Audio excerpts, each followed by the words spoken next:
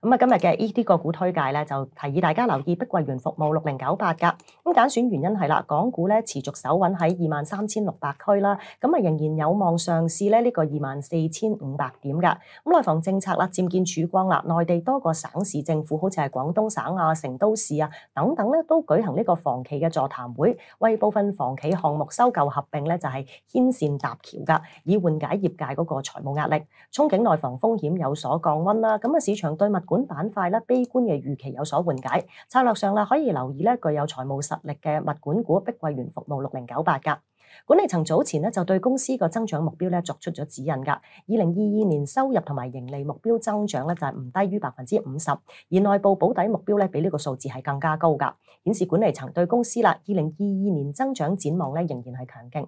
碧桂園服務咧，琴日收報四十五個半，日升百分之四。咁策略上咧，建議喺四十三蚊以下收入收集啦，目標就係睇五十五蚊嘅，咁跌穿三十九蚊咧就要減持啦。